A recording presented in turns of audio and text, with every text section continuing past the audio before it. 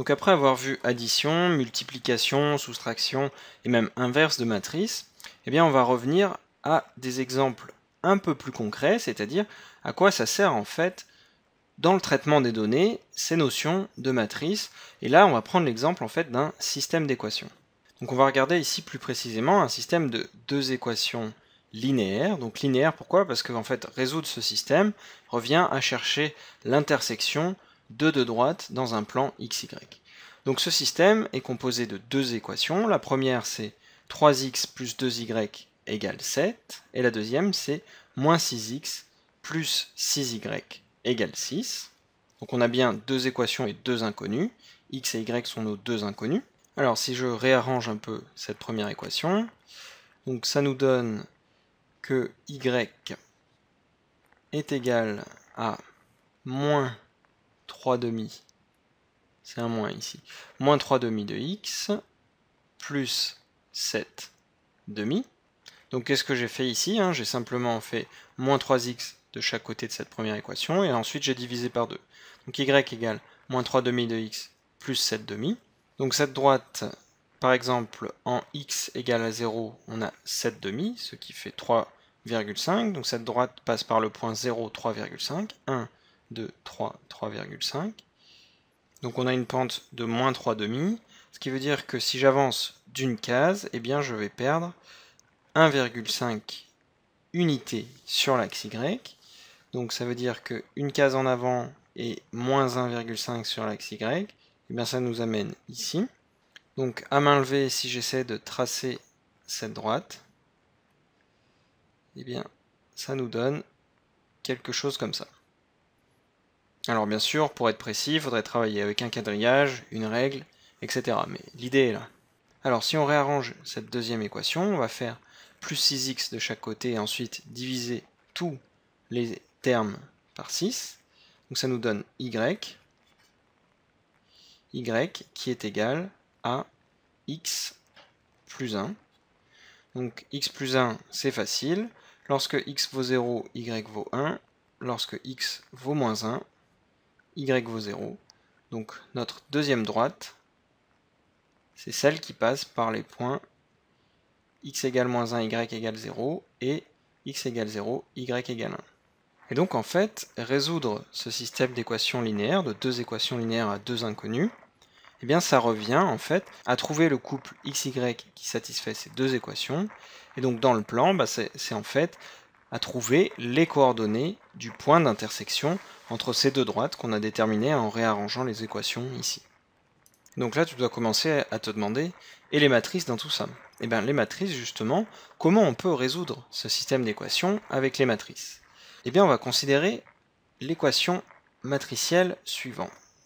on a une matrice avec les coordonnées 3, les éléments 3, 2, moins 6 et 6. Donc tu peux reconnaître que j'ai choisi les coefficients qui sont devant x et y dans ces deux lignes, dans ces deux équations. Donc cette matrice avec les coefficients de notre système, je la multiplie par un vecteur colonne xy pour obtenir un vecteur colonne qui est en fait composé des deux nombres résultats, 7 et 6. Donc cette multiplication est bien définie, on a le même nombre de colonnes dans la première matrice, donc 2, que de lignes dans la seconde. Alors si tu veux te convaincre que cette équation matricielle est bien exactement la même chose que ce système de deux équations linéaires, eh bien, je te laisse faire une pause et vérifier par toi-même. C'est très simple d'effectuer cette petite multiplication matricielle pour vérifier qu'on obtient bien exactement la même chose. Alors nous, on ne va pas le faire ici, puisque c'est quelque chose qu'on a déjà fait dans les vidéos précédentes. Par contre, on va écrire de manière un peu plus formelle cette équation matricielle. Donc on a une matrice qu'on va appeler A ici, que l'on multiplie par un vecteur. Donc je vais le noter avec une flèche pour être clair et qui est égal à un vecteur résultat que je vais également noter avec une flèche. Voilà notre équation matricielle. La matrice A de taille de 2 fois le vecteur colonne x est égal au vecteur colonne b. Donc dans le monde des scalaires, par exemple avec les nombres réels, si on a a fois x qui est égal à b, Et bien à ce moment-là, pour trouver la solution, c'est quelque chose que tu, sais faire par cœur, et de manière intuitive, c'est 1 sur a, multiplier en fait chaque côté de cette équation par 1 sur a.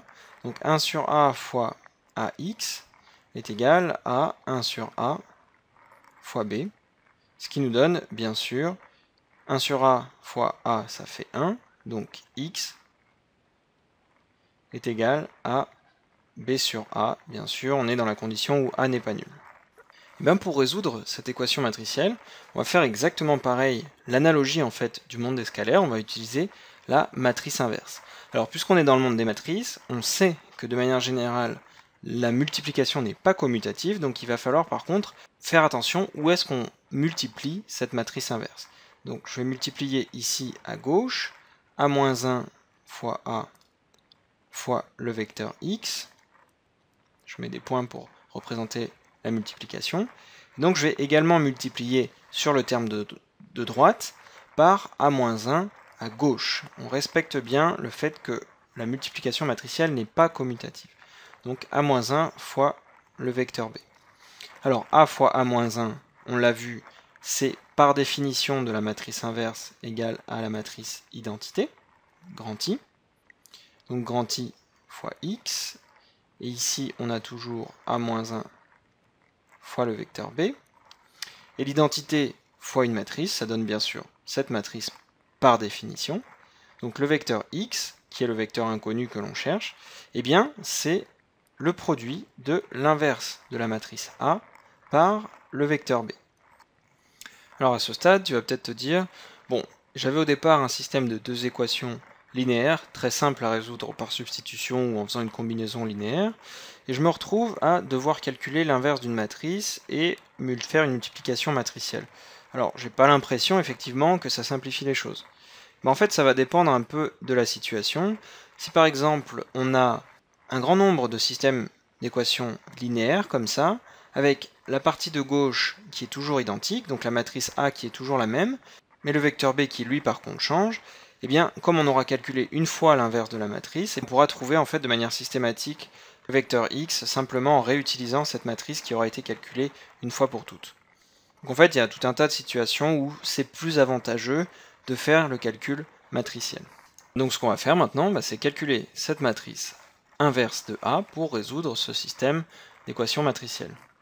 Donc l'inverse de A, A-1, c'est égal à 1 sur le déterminant, 1 sur det de A, det de la matrice A, que l'on multiplie par cette fameuse matrice, donc sur laquelle on a inversé les éléments, pardon, on a changé, non pas inversé, on a changé les éléments de la première diagonale, donc le 6 qui était en bas à droite se retrouve en haut à gauche, et le 3 prend sa place.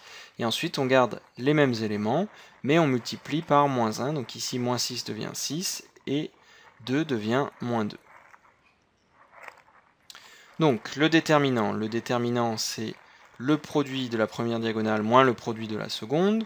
Donc, ça va faire 3 fois 6, 18 pour la première diagonale, moins moins 2 fois 6, donc ça fait moins moins, donc ça fait plus 12 toujours multiplié par notre matrice 6, moins 2, 6, 3. Donc cette matrice inverse, elle est égale à 1 trentième, 18 plus 12, donc fois notre matrice 6, moins 2, 6 et 3. Donc notre vecteur x que l'on cherche, la solution, qui est donc égale à vecteur colonne composé des coordonnées x et y, et eh bien donc c'est 1 trentième de la matrice 6, moins 2, 6, 3, donc là j'ai fait que réécrire l'inverse de A, que je multiplie par le vecteur B, qui est donc 7 et 6. Donc ça, qu'est-ce que ça nous donne? Eh bien c'est parti, ça va faire 1 trentième on a toujours un trentième devant. Alors, ici, on a 6 x 7, 42, auquel on ajoute 2 x 6, 12, mais c'est un moins, donc c'est moins 2 x 6, donc moins 12, pardon. Donc ça fait 6 x 7, 42, moins 12, on se retrouve à 30. Premier élément vaut 30. Et enfin, le deuxième, 6 x 7, 42, auquel on ajoute 3 x 6, 18, donc on se retrouve à 60. Donc si je simplifie, puisque j'ai 1 trentième devant, et bien sûr le 1 trentième c'est un scalaire, donc il se distribue sur chaque élément, et eh bien ça nous donne 30 divisé par 30, 1, 60 divisé par 30, 2. En utilisant cette matrice inverse pour résoudre ce système, eh bien on a trouvé que le couple xy qui satisfait ces deux équations, eh bien c'est xy est égal à 1, 2. Et donc concrètement, ce que ça veut dire, ça veut dire que ces deux, ces deux droites qu'on a dessinées ici, eh bien, ont un point d'intersection de coordonnées 1 sur x et 2 sur y. C'est bien ce qu'on avait trouvé graphiquement. Voilà, donc bien retenir cette analogie matricielle pour résoudre un système linéaire d'équations, parce que ça peut servir dans pas mal de domaines.